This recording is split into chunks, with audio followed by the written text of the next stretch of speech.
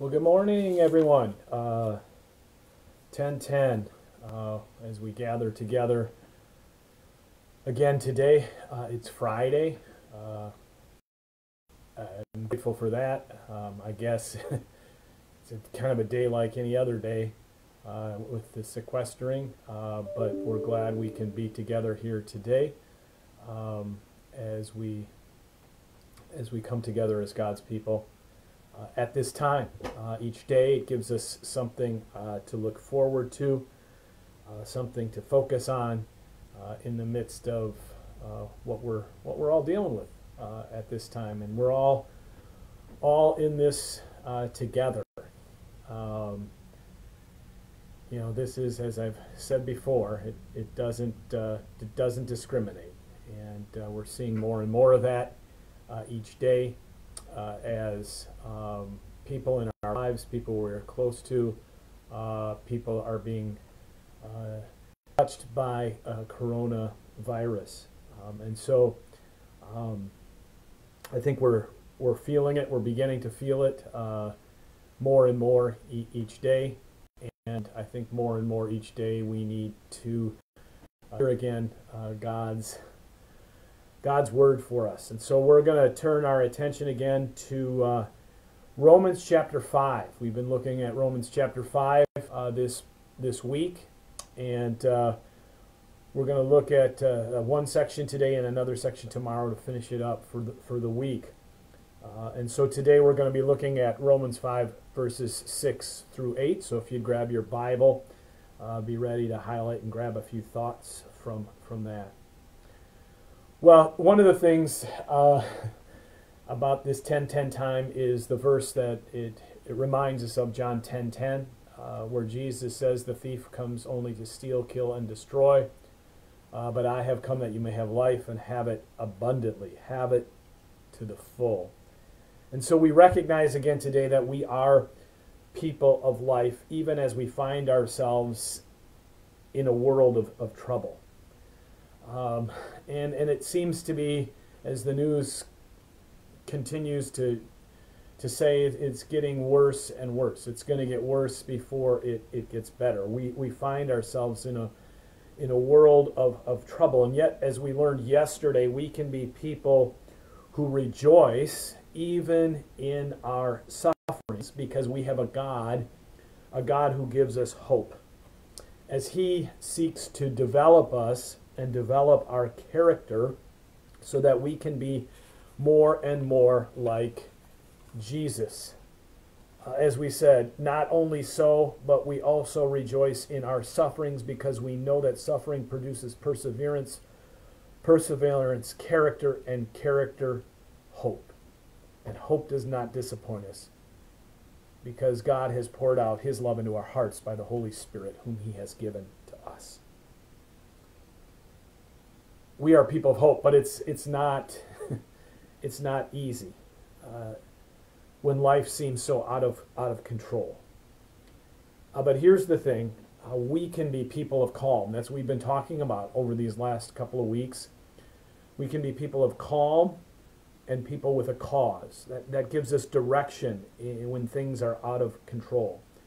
And so today, uh, as we look at Romans chapter 5 verses 6 through 8, we're going to discover again why it is that we can be people of calm. And I'll give you a little a tool today to help you uh, to be a person who is calm in the midst of this troubling time. So let me read these words from Romans 5 verses 6 through 8.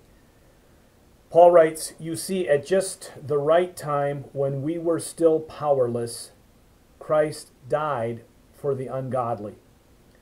Very rarely will anyone die for a righteous person, though for a good person, someone might possibly dare to die. But God demonstrates his own love for us in this. While we were still sinners, Christ died for us. Now, one of the words that stood out to me as I read those, those scripture passages this morning was the word powerless.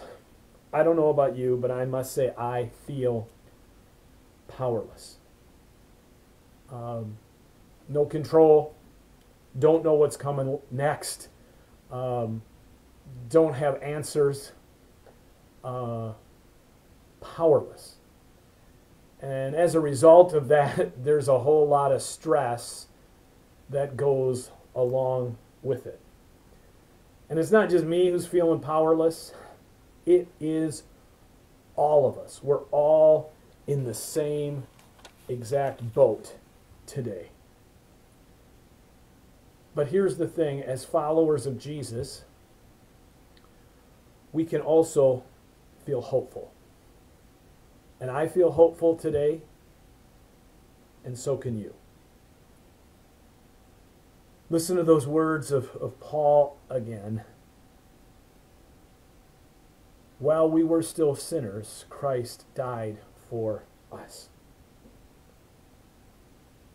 We have a Savior, a Savior who reveals the very heart of our God, a God of love, a God who sent His Son, who paid the price for us. That we could be made right with God once and for all. It's the right time. It's the right time. Today is the right time to hear again this message of hope that we have a God who loves us. God demonstrates his love for us. He makes it real for us today that while we were still powerless, while we were still sinners, Christ died for us.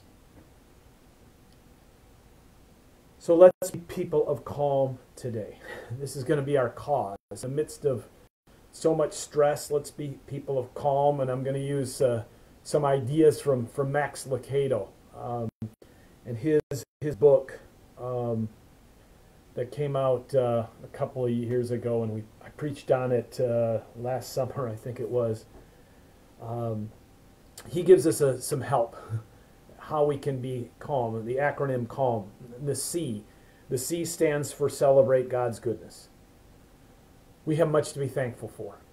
Man, do we have much to be thankful for. And so today, let's not forget that, but let's give thanks. Let's celebrate God's goodness to us. Let's not focus on the problems, but celebrate God's goodness. And we can make a whole list of them, and I talked about before last week. So, C, celebrate. A, ask God for help. We are powerless. He is not. He is God, and He has victory over sin and death and the grave. And we claim that victory in Him today. He is not powerless, He is powerful. And so we we leave our concerns, L, we leave our concerns with God. He's powerful, powerful to save. And trusting in that, we, we lay our concerns, we leave our concerns with Him and let Him work, even in the midst of so much that we cannot understand. Finally, let's meditate on, on good things, on godly things. We talked about that last week in our, our look at uh, um, Philippians 4. Focus on those, those godly things today. Yesterday, uh, we asked the question what are you going to, going to focus on? Where are you going to put your time and your energy? Or is it going to be wasted time or is it going to be invested time? A time where we can give glory to God in who we are and what we do, a time where we can reveal to our neighbors who this God of ours is in the way that we treat them. We ask God to show us what our purpose can be in all of this. Take a moment after our time today and just be still. Uh, be still and know that God is God, and be still and, and listen uh, for what His purpose is for you in this time. And as you do, remember what our cause is for today. It is to be people of calm, people who celebrate and ask and learn and meditate. We go to the Lord in prayer today. We go uh, with some concerns on our hearts, many concerns on our hearts, no doubt. um, as we as we look uh, and trust in in God's uh, care for us uh, today.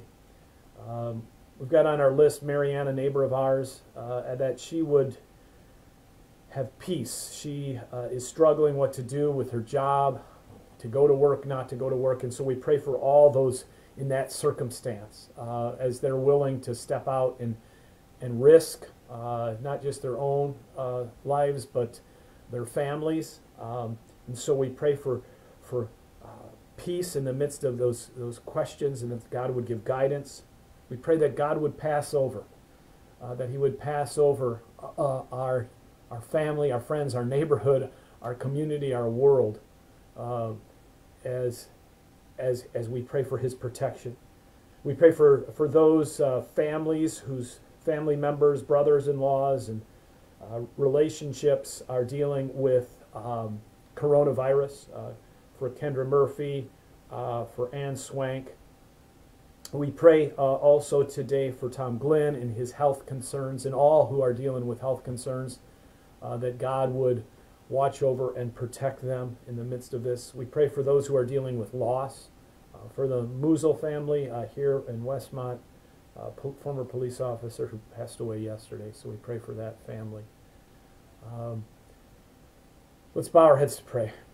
Father, we thank you that you give us calm, uh, that you reveal to us that while we were powerless, you are still God, and that you are on your throne, and that you are good that you demonstrated this love for us in a very real way, that you sent your Son, who stood in our place, who became the sacrifice for our sin, and who gives us life, because he is victorious over death and the grave. And as we put our faith in him, we recognize.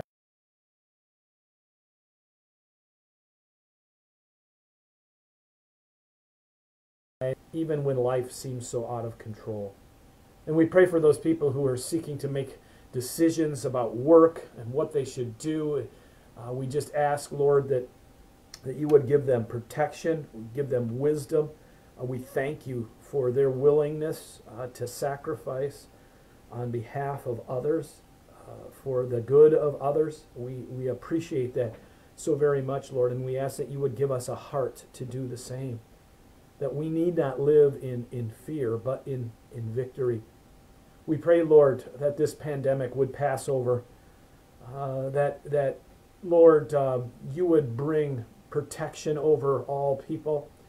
Uh, we pray, Lord, that this virus would, would die out uh, and that it would not affect any more people. Uh, we know that's a big prayer, but we know that you are a big God. We pray for the families of those who are affected by this. Um, people's lives who are being affected by this. It's coming closer and closer to us each and every day. People we know, people we love, people we care about. And so, Lord, we lift them up.